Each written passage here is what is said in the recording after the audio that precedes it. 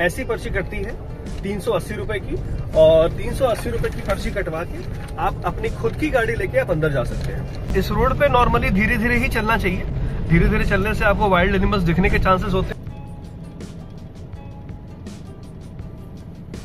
मेरे लिए सबसे बड़ा एक्साइटमेंट ये होता है कि मैं अपनी खुद की गाड़ी में चल रहा हूँ पीछे देखो सफारी जिप्सी चल रही है। ये देखो।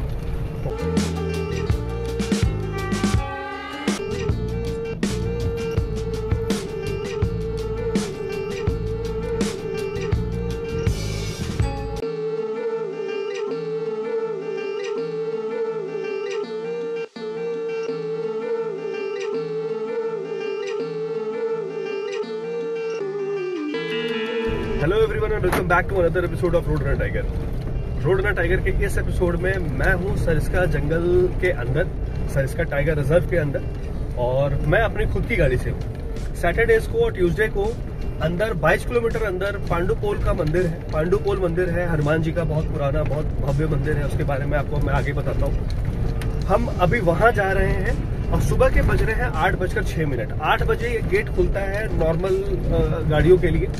और यहाँ एक गाड़ी की पर्ची दो सौ अस्सी रुपए की कटती है। सॉरी तीन सौ अस्सी रुपए की कटती है। ऐसी पर्ची कटती है, तीन सौ अस्सी रुपए की, और तीन सौ अस्सी रुपए की पर्ची कटवा के आप अपनी खुद की गाड़ी लेके आप अंदर जा सकते हैं। मैं लकी हूँ कि मैं सुबह थोड़ा सा जल्दी आ गया हूँ। मुझे उम्मीद है कि आगे मुझे कुछ वाइल्ड एनिमल्स तो ज़रूर दिखेंगे। डियर्स तो ज़रूर देखना चाहिए। और अगर मैं लकी रहा तो लेपर्ड और टाइगर भी इस रोड पे देख सकते हैं। क्योंकि उनका टाइम अभी है टाइम खत्म नहीं हुआ है। नौ बजे के बाद जो है करीब करीब साइटिंग बंद होती है टाइगर्स बैठ जाते हैं। लेकिन अगर टाइगर अभी मूव कर रहे हो तो टाइगर्स के भी दिखने के चांसेस होते हैं। फ़िलहाल, मैं जिस सड़क पे अभी चल रहा हूँ ये कच्ची सड़क पांडुपोल के लिए जाती है और जंगल सफारी के लिए भी इसी रास्ते पे जिप्सी और कैंटर्स चलते हैं। आज जो जिप्सी कैंटर जो सुबह गए होंगे वो आपको इस रोड पे देख भी सकते हैं। बाकी ये साइड में जो जंगल है इधर भी कुछ ट्रैक्स बने हुए हैं जिसपे अक्सर जिप्सी और कैंटर्स जो है उधर भी मूव कर, करते लेकिन अपने प्राइवेट व्हीकल को आप इस मेन रोड से अलग लेके नहीं जा सकते। इस रोड पे नॉर्मली धीरे धीरे ही चलना चाहिए। धीरे धीरे चलने से आपको वाइल्ड एनिमल्स दिखने के चांसेस होते हैं और सबसे इम्पोर्टेंट कि वाइल्ड एनिमल्स डिस्टर्ब नहीं होते हैं। धूल मिट्टी कम उड़ती है, शोर कम होता है और चांसेस कम होते हैं कि आपको ऐसे दिख जाए। ऐसे साइड साइड्स में मुझे बीच बीच में कोई कोई डियर दिख रहे हैं, लेकिन थोड़ा सा सड़क से अभी किनारे हैं वो लोग। ये है सुबह सुबह निकलने का फ़ायदा।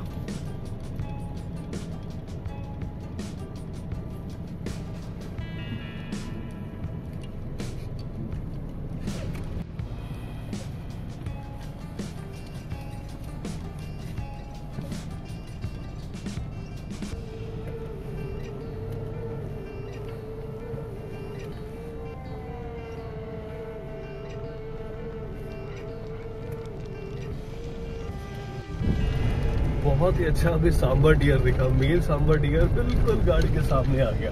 सामने से क्रॉस करके गया। बहुत ही अच्छी साइटिंग हुई उसकी। अच्छा लगता है, इसीलिए मैं सुबह और जल्दी आना चाह रहा था। हालाँकि एक दो गाड़ियाँ भी आ गई आगे भी कुछ गाड़ियाँ निकल गई है। पीछे भी कुछ गाड़ी चल रही है तो थोड़ा सा माइंड डिस्टर्ब हो जाता है। लेकिन चलो डिस्टेंस बना के चलने की कोशिश करता हूँ मैं। शायद दिख जाए, कुछ आगे दिख जाए। ये दो चीतल डियर दिख रहे हैं अभी यहाँ पे।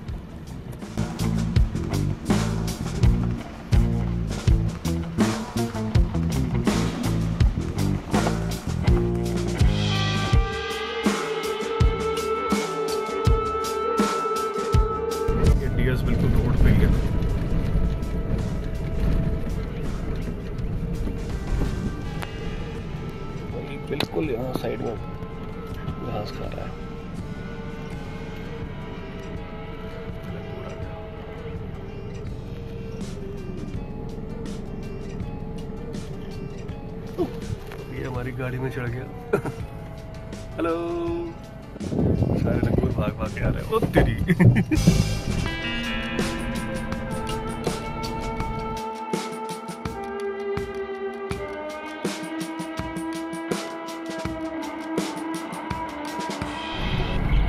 सामने या तो नीलगाय है या फिर सांबर डियर है। बहुत बड़े पेड़ के ऊपर ये पत्ते खा रही है। हाँ शायद ये सांबर फीमेल है। फीमेल सांबर है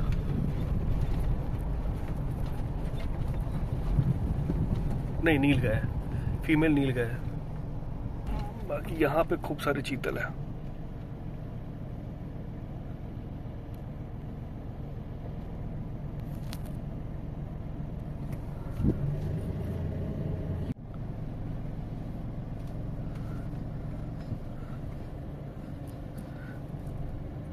बहुत सारे चीतल डियर्स हैं यहाँ पे अभी।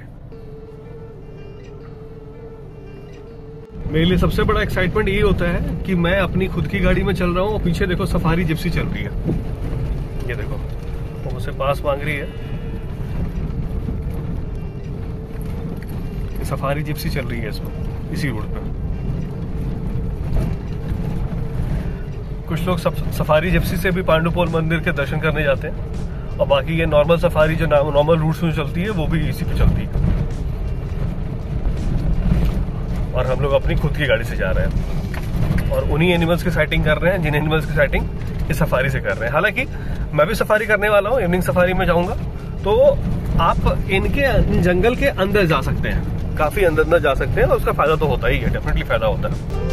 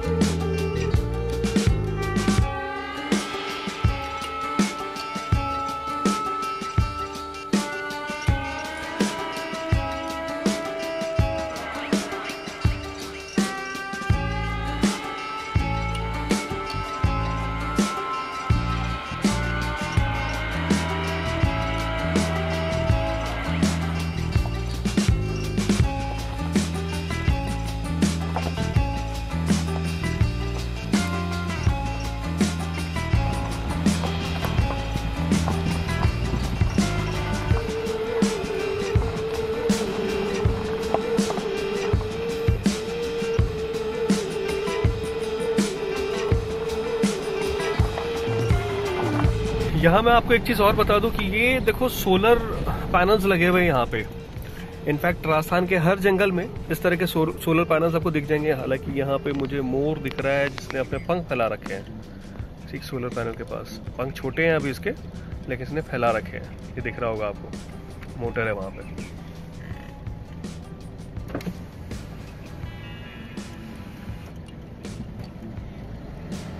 तो मैं ये बता रहा था कि सोलर पैनल जो है यहाँ से पानी निकाला जाता है इन सोलर पैनल्स की मदद से और इस तरह से छोड़ा जाता है पानी।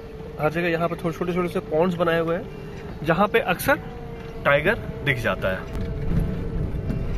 ये क्रॉस करेगा।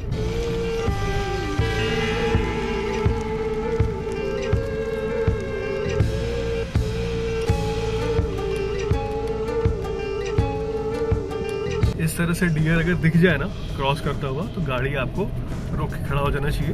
वो अच्छी साइटिंग देंगे आपको। हड़बड़ा के नहीं भागेंगे धीरे धीरे जाएँगे, अच्छी साइटिंग देंगे।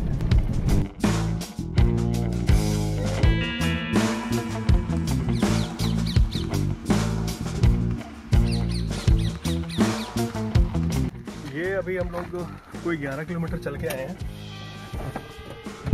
मैं इसमें बोल रहा हूँ। कोई 11 किलोमीटर अभी चल के आया हूँ और अब 11 किलोमीटर और जाना है।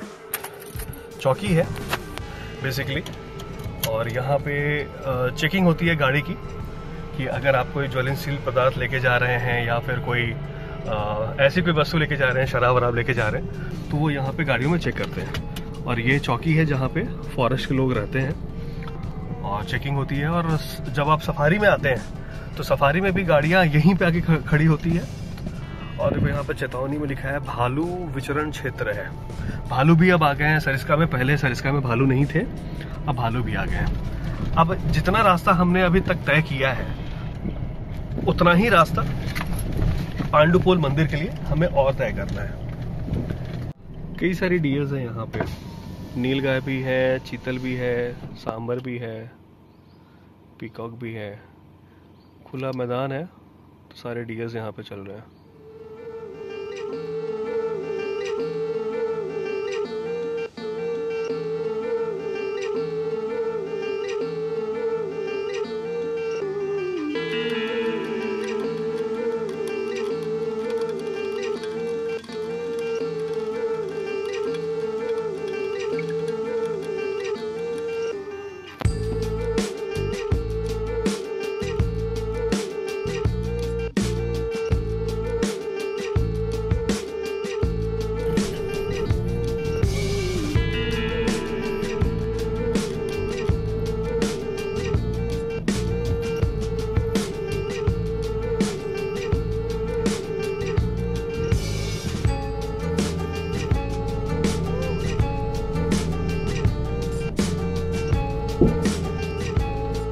एक लंगूर मेरी कार के ऊपर अभी चढ़ा हुआ है। नीचे उतरा ही नहीं अभी तक।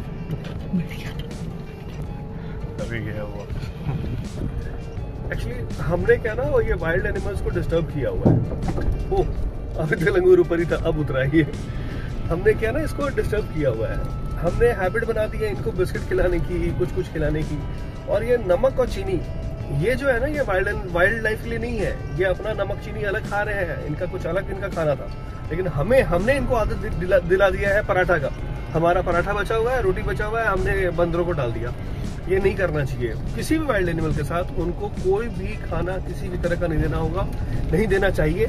क्योंकि उनकी वो हैबिट नहीं है। और अगर एक बार आप उनको नमक चखा दोगे तो फिर वो नमक के आदि हो जाएँगे जो उनको नमक रेगुलर मिलेगा नहीं। और उसके कारण कई बार उनका ना दिमागी संतुलन भी खराब हो जाता है। तो वाइल्ड एनिमल्स को हम कई बार जो सोचते हैं ना, कि चलो कुछ खिला देते हैं, कुछ दे देते हैं या देते हुए चले जाते हैं, ये गलत है। इसी कारण से इनकी मतलब बहुत अधिक आबादी होना भी ठीक नहीं है बहुत अधिक आबादी अगर हो जाए बंदरों की तो भी वो भी ठीक नहीं और शहरों शहरी आबादी तो पूरा निर्भर ही करती है हमारे खानों पे बंदर जो शहर में है, और ये जंगल के जो बंदर है, उनको भी मैं देख रहा हूँ कि उनको भी इस खास करके इस सड़क पे वो इंतज़ार कर रहे हैं कि अभी कोई ना कोई आएगा और कुछ ना कुछ खिलाएगा। जैसे ही मैं गाड़ी रोकता हूँ, वो मंकीज जो है बिल्कुल गाड़ी के ऊपर आके चढ़ जाते हैं, सामने खड़े हो जाते हैं, उनको लगता है कुछ खाने को मिलेगा। फ़िलहाल, जैसे जैसे दिन चढ़ रहा है, जंगल और खूबसूरत होता जा रहा है। हालाँकि जब धूप नहीं था तो ज़्यादा सुंदर लग रहा था। धूप होने के बाद भी सुंदर है लेकिन वाइल्ड एनिमल्स जो है धीरे धीरे थोड़ा ऐसे मुझे लगता है साइड साइड अब खिसकना शुरू हो रहे हैं। हालाँकि मुझे तो भी वाइल्ड एनिमल्स दिख रहे हैं भर भर के दिख रहे हैं, ऐसी बात नहीं है। जितना दिखना चाहिए, उतना दिख रहे हैं। गाड़ियाँ बीच बीच में क्रॉस हो रही है तो थोड़ा सा